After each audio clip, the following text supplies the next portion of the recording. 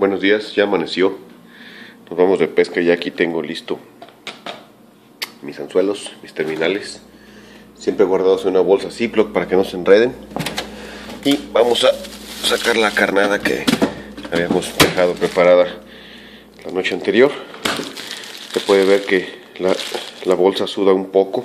Entonces es necesario que la bolsa ahorita vaya abierta para que cuando lleguemos allá a la presa la carnada ya esté seca.